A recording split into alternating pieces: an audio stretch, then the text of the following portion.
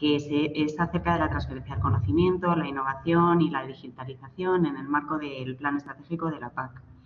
La, ponente va a ser María Teresa Ambrós, que ya te veo en pantalla. Es su directora general de Innovación y Digitalización y, bueno, voy, eh, si quieres te, pongo la presentación, ¿sí? Sí, por favor, Raquel. Mira, te vimos también, o sea que funciona todo bien. Me fío más de tus habilidades digitales que de las mías. Mira, ya la tienes. Muy bien. Así que cuando quieras. Muy bien, pues muchas gracias Raquel.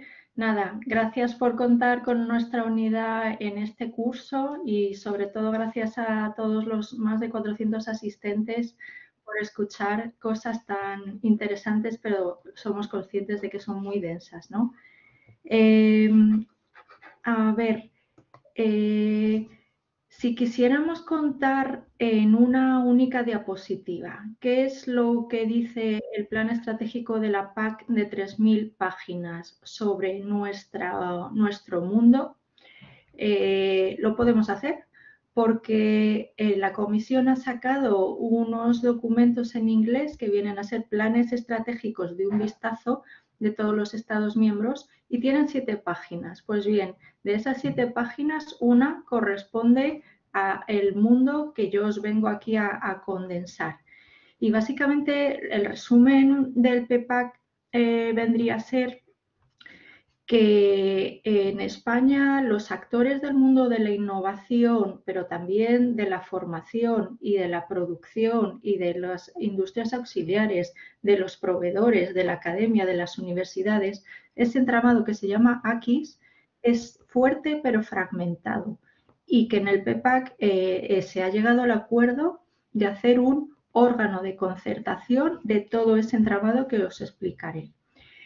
¿Qué otras cosas dice? Pues que la ambición digital del PEPAC es escasa y eso es cierto y no es eh, un problema porque la política agraria tiene que dirigirse a aquello que hace mejor, que es apoyar la transición medioambiental, hacer un apoyo al propio sector de rentas, fomentar la incorporación de jóvenes, etc. Hay otras políticas que cubren bien la digitalización en España y por consiguiente es débil el indicador de digitalización eh, del PEPAC.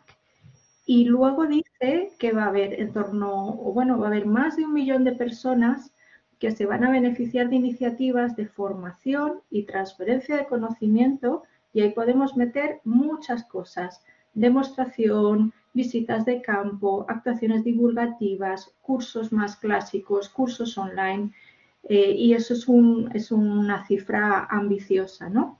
Y que eh, los asesores también van a recibir financiación eh, o los programas de asesoramiento a las explotaciones, incluido que van a, se va a fomentar que los asesores entren en grupos operativos.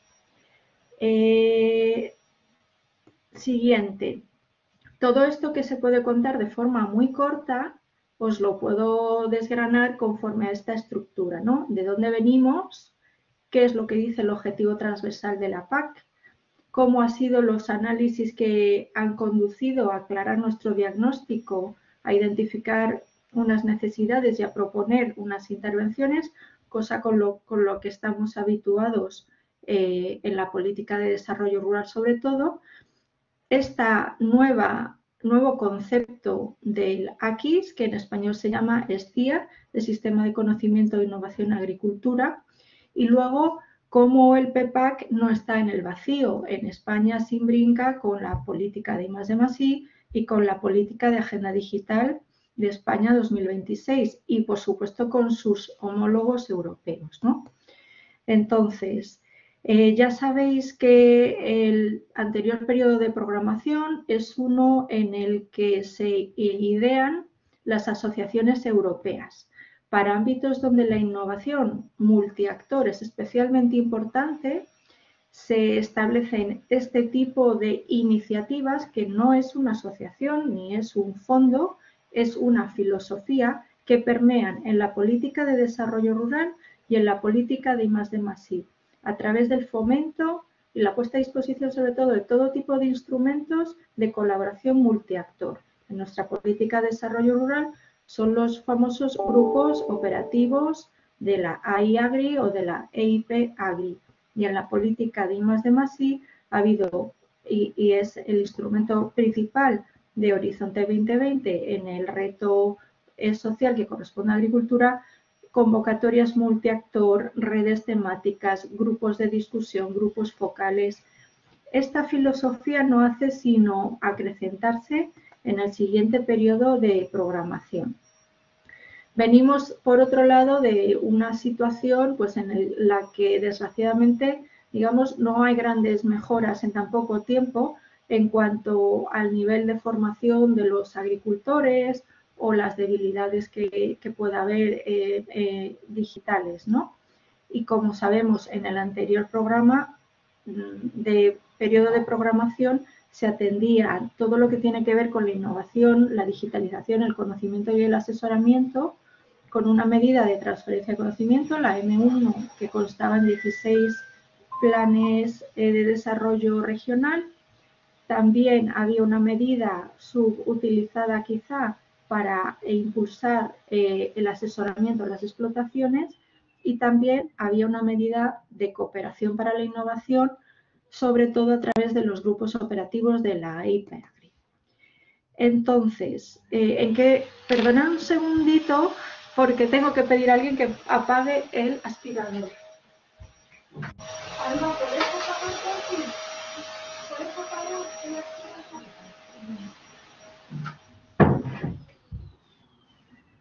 Bueno, cosas del directo. Cosas del directo. Las leyes de Murphy.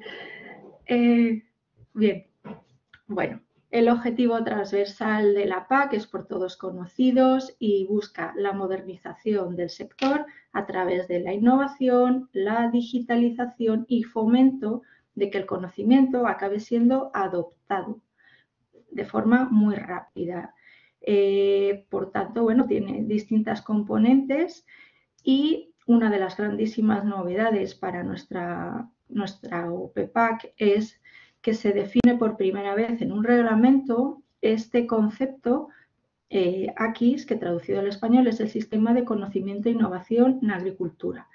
Eh, este concepto complejo no es ni más ni menos que el entramado de todos los actores que tienen algo que decir a lo largo de toda la cadena, y eso incluye a consumidores, por supuesto los agricultores, los productores y las industrias están en el centro, pero hay también academia, universidades, consumidores, eh, movimientos medioambientalistas, movimientos de mujeres rurales, a todos y a los flujos de interrelación que establecen entre ellos eh, que, les vincula, porque unos, eh, varios producen conocimiento, otros los aplican, otros los divulgan, otros los demandan. ¿no? Entonces, esta es una gran novedad. Eh, ¿Qué ocurre? Pues que esta piedra angular en nuestro país es compleja y como, como, compete a un marco descentralizado de comunidades autónomas y a una multiplicidad de sectores, en uno de los sectores que, tiene un enorme, un enorme, peso en el PIB y cientos de orientaciones productivas distintas. Y aquí voy a pasar muy rápido pero bueno, eh, en el plan estratégico de la PAC son distintos los elementos, eh, los artículos, perdón, del reglamento eh, que inciden sobre esto. El más importante sería el 114, que explica qué es lo que tenía que quedar necesariamente claro en el PPAC, que es cómo es la estructura organizativa de ese y cómo mejorarlo, de qué manera se va a facilitar a los agricultores servicios imparciales y de calidad, así como eh, eh, me refiero en materia de asesoramiento, así como cómo fomentar la adopción o la transición digital en el sector. Eh, los artículos más clave a nivel de intervenciones que tenemos son el 78 y el 77. El 78 va a derivar en todas las intervenciones que tenemos de innovación, formación, intercambio de conocimientos y asesoramiento. Y el 77 mantiene sobre todo la lógica vigente de distintas fórmulas de cooperación, eh, siendo la que más nos importa a nosotros la cooperación de los grupos operativos eh, de la EIPAGRI. Veníamos preparados para el diagnóstico porque, entre otras cosas, partíamos de análisis profundos en cuanto a este sistema AQUIS y específicamente qué papel juegan los asesores eh, en él, los asesores eh, del futuro y también veníamos muy bien preparados porque ha habido una estrategia de digitalización del sector agroalimentario 2019 que ha sido la brújula para para el diagnóstico del objetivo transversal, para hacer ver a la Comisión también que ese, que ese marco en general la política digital en España se aborda también a través intensamente ahora del Plan de Recuperación, Transformación y Resiliencia.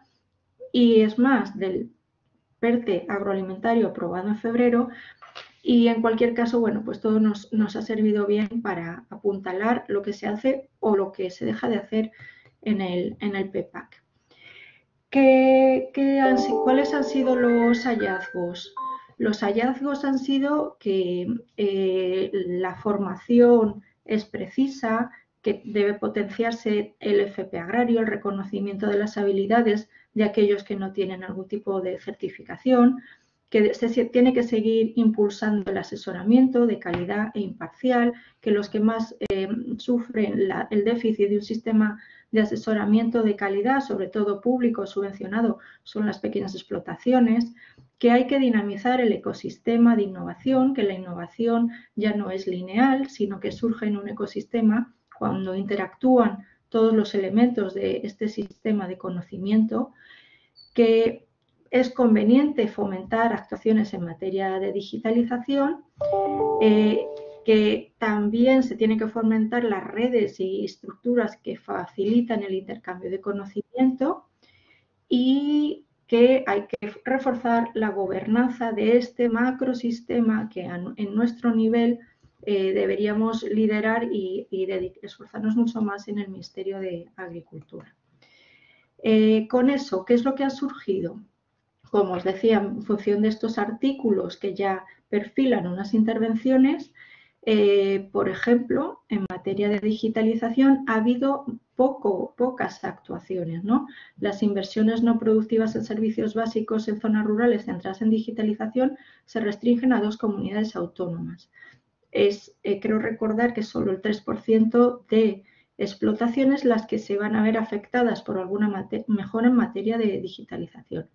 Sin embargo, nuestro país destaca porque han sido 14 comunidades autónomas y el propio Ministerio los que han apostado por la medida de cooperación para la innovación de la Asociación eh, Europea de Innovación para la Productividad y Sostenibilidad Agrícola. Solamente Baleares, Valencia y otra comunidad que no me acuerdo ahora se han quedado fuera de esta medida de cooperación que para nosotros es fundamental y que es la que señalaba la Comisión que dará lugar a 777 consorcios multiactor que eh, innovan en aspectos que responden a sus necesidades básicas y estratégicas con un enfoque bottom-up. Eh, ¿Qué otras intervenciones hay? Eh, también hay cooperación que no tenga que ver con la innovación en distintas comunidades autónomas que consumirá 11,7 millones de euros. La formación agraria, esta que dará lugar a más de un millón de personas formadas sensibilizadas o que han participado en eventos demostrativos va a desarrollarse en 15 comunidades autónomas y, también a nivel supraautonómico por el Ministerio, lo que supondrá 81 millones de euros. Luego, el asesoramiento se va a desplegar y me consta que ya muchas comunidades autónomas están escribiendo sus bases reguladoras o actualizándolas al nuevo periodo para que en 14 comunidades autónomas se despliegue esta intervención y en el Ministerio habrá una intervención específica para el asesoramiento en materia de transición digital. Y esto, eh, eh, ¿cómo se refleja también o qué ambición tiene esto?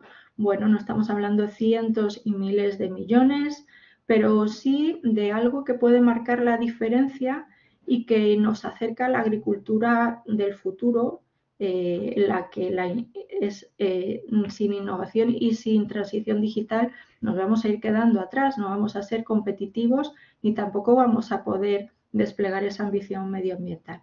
Entonces, hay más de un millón de personas eh, que serán formadas bajo el indicador que, veis, que veis ahí, el número de personas que participan en los grupos operativos de la Asociación Europea para la Innovación. Eh, va a haber en torno a 7.000 asesores apoyados en el marco del PEPAC que se integran de alguna manera en el sistema de conocimiento e innovación agricultura. Y lo que os decía, este indicador de la digitalización agricultura es bajo, pues solo se contempla de forma agregada que un 3,23% de las explotaciones que tienen, eh, bueno, que, que perciben ayudas de la PAC incorporen o sean beneficiarios de algún tipo de marco para su transición digital. Eh, al respecto del tema de que todo el entramado de actores y sus flujos de relación, todos los que tengan algo que ver con la producción agroalimentaria en, este país, está muy deslavazado, pues la realidad es que eh, el marco competencial de España hace que haya un sistema de conocimiento, innovación, agricultura autonómico con sus propias idiosincrasias. Las comunidades mm, mm, uniprovinciales como Navarra, por ejemplo, lo podrán tener muy fácil con un INTIASA muy fuerte, un centro de referencia de transferencia de conocimiento, de asesoramiento, con un CNTA muy fuerte, un Centro Nacional de Tecnología alimentaria o una universidad muy fuerte, comunidades más amplias, con más territorio, con más eh, orientaciones productivas, lo pueden tener más difícil. Luego hay comunidades más innovadoras eh, y otras menos, ¿no? Pero ah, en el marco nacional falta una especie de mesa de debate, mesa de la innovación, eh, asesoramiento y la formación en el sector agroalimentario y eso es de lo que la comisión se hace eco, que tenemos que hacer y que nos ha animado activamente a ello y, que, eh, y parte de que haya un ente de concertación que, que, viene ya reflejado en el primer Real Decreto de Gobernanza del PEPA, que en un pequeño articulito y que daremos eh, respuesta en más profundidad con otro Real Decreto. ¿no? Allí habrá vocales de las comunidades autónomas, del mundo del conocimiento, de la academia, de otros ministerios, del sector productor, por supuesto, de las OPAs, cooperativas, FIAP, de movimientos eh, de la sociedad civil, etc. Este, eh, este ente coordinador del AQUIS o del ESCIA eh, queremos que tenga tres grupos de trabajo, uno monográfico sobre el asesoramiento de explotaciones, otro sobre limas de Masí y otro de formación. Eh, ¿Qué hemos explicado a las comunidades autónomas y qué hemos explicado a la Comisión? Que nos tomamos en serio esta necesidad de concertación de un montón de actores en aras de la innovación y por eso las funciones de este ACIS Coordination Body son bastante exhaustivas. Ahí las vais viendo, son tres. Como esta presentación va a quedar a vuestra disposición, pues quiero ir un poco rápido. ¿Y que, cuál ha sido otra de las obsesiones de la Comisión eh, en la que hemos tenido que, negociar con ellos y, hacer mucha pedagogía. Que algunos aspectos no se abordan en el plan estratégico de la PAC porque en España se atienden con otras políticas, sobre todo con la Estrategia Española de Ciencia, Tecnología e Innovación y sobre todo con la Política Española de Digitalización de la Agenda España Digital 2026. ¿no? Eh, ¿Y qué otras cuestiones han interesado a la Comisión? Lo que os comentaba, una gobernanza de este sistema de actores en el mundo de la innovación y el conocimiento y eh, la razón por la que este indicador de digitalización era bajo en nuestro plan estratégico. A este respecto que les hemos contado, pues que España se está esforzando muchísimo en tener un marco mejor de I+D+I con el liderazgo del Ministerio de Ciencia, porque existe una estrategia integral española de ciencia, tecnología e innovación eh, que se articula en lo que nos corresponde la AGE en el Plan Estatal de Investigación Científica y, Técnica y de Innovación, el PEICTI. Eh, como el sector agroalimentario en nuestro país tiene un peso muy importante en la estrategia española de ciencia, es una de las seis estrategias prioritarias porque la estrategia española mimetiza las seis prioridades de la política europea de I+D+I que se plasma en Horizonte Europa. ¿Qué hemos puesto a la luz? Que existe un plan de choque para la ciencia y la innovación y que en el PRTR, en el Plan Nacional de Recuperación, Transformación y Resiliencia, que se está financiando con fondos europeos Next Generation, va a haber en total más de 3.400 millones destinados a la ciencia, incluidas, por supuesto, las ciencias agroalimentarias, agricultura, bioeconomía, etc. Y luego les hemos contado que eh, se, ha, aprobado un plan estratégico denominado PERTE agroalimentario que tiene todo un eje 3 de I más de más I de algo menos de 200 millones de euros.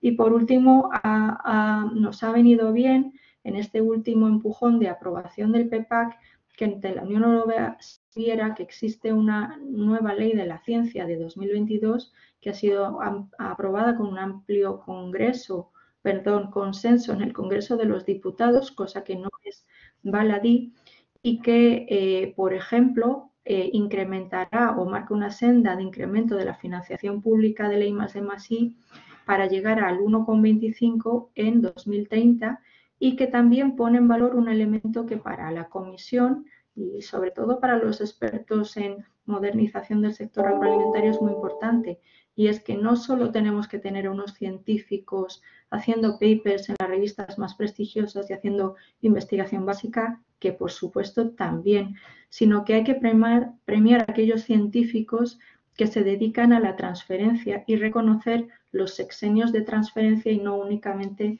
los sexenios de investigación. Que eh, en cuanto al PERTE agroalimentario, que yo pienso que es poco conocido, yo solo os quería que os quedarais con dos, dos, ideas. El PERTE agroalimentario es un marco estratégico de mil millones de euros donde se aplican fondos europeos Next Generation del mecanismo de recuperación y resiliencia pero se compone de muchísimas actuaciones con lógicas muy distintas. Subvenciones, préstamos, inversiones, actuaciones directas de los ministerios o las comunidades autónomas. Pues bien, tiene tres ejes y el eje 3 es el de I más D, I más D más I. En ese eje, a mí me parece, hay bastantes cosas de I más D más I, como no de otra manera, pero yo pienso que os puede interesar saber que va a haber en torno a 50 millones en un plan eh, que se llama Plan Complementario AgroEnlest, en el que Navarra, Aragón, Murcia, Asturias, Comunidad Valenciana, Extremadura y La Rioja se van a llevar a cabo actuaciones de I muy aplicadas al sector agroalimentario, sobre todo al sector primario, que tienen que ver con digitalización de explotaciones, que tienen que ver con generar entornos de compartir datos masivamente en aras del sector, que abordan tanto la sensorización de la dehesa como la, eh, la captura de carbono, el carbon farming, como la enología en el Valle del Ebro, etcétera, ¿no?